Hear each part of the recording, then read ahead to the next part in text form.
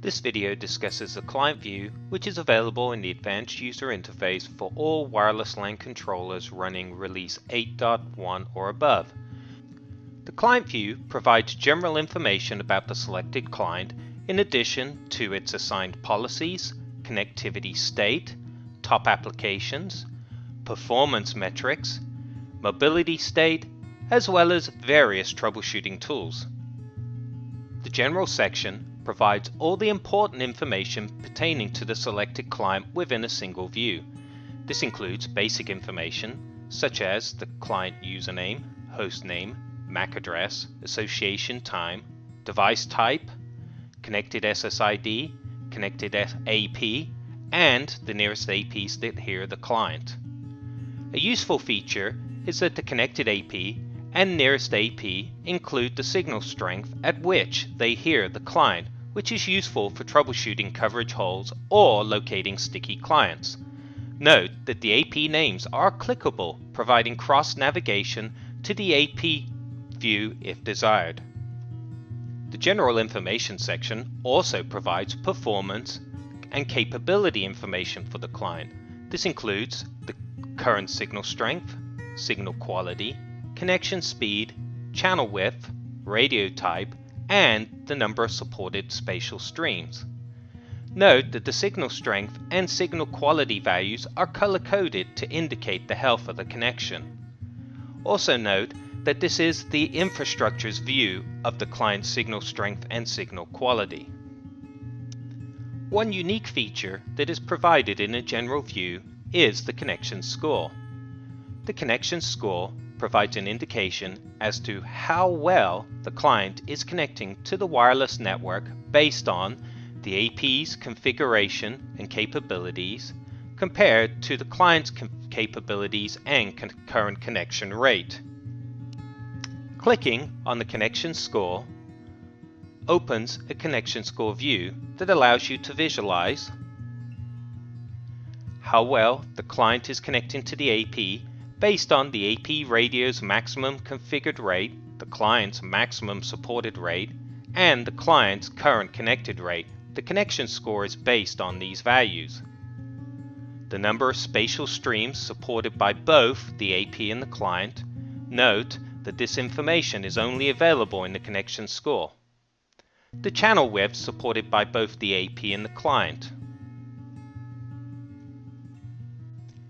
Each section includes a help bubble which can be clicked to, for additional explanation.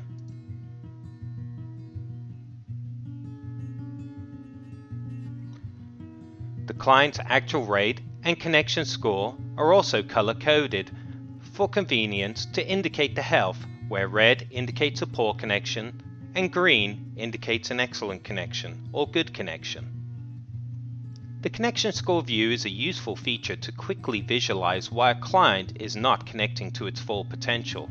For example, it can be used to quickly determine why a brand new 802.11ac free spatial stream client is not currently connecting at its full 1.3 gigabits per second rate. For example, let's say the 802.11ac radio that is, the client is currently connected to is configured to use a 20 MHz channel instead of an 80 MHz channel. This tool can quickly provide this information. The connection score tool can also be used to identify misbehaving client drivers. For example, a client that should be capable of supporting two spatial streams but is currently connecting to the AP using a single spatial stream. This tool would allow you to identify these clients. Here are some additional connectivity score view examples.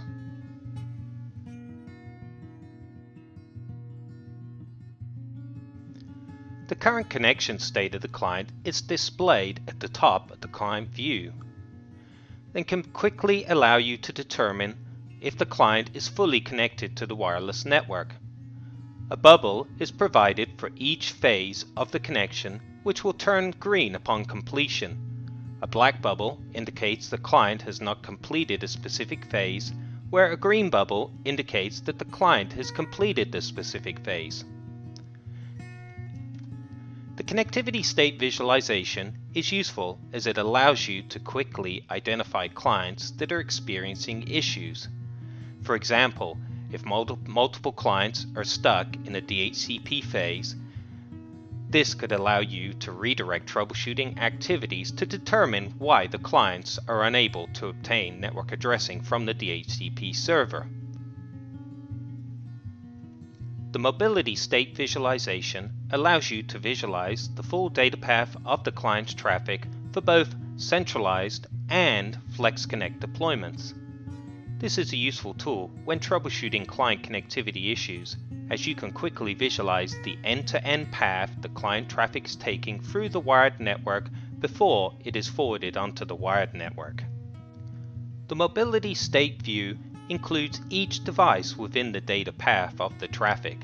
This includes foreign, anchor, and guest anchor WLCs.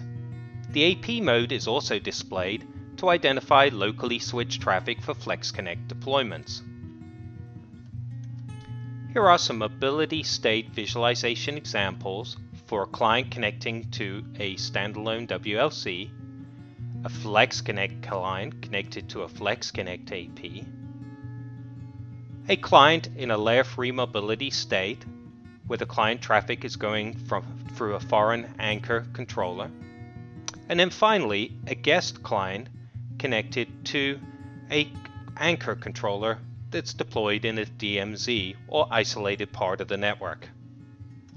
Finally, the client view displays the network, security and policy, and QoS details for the client. The network section displays the client's current network addressing, VLAN, and mobility role, while the QoS section displays the client's WMM status, power save status, and assigned QoS metal level.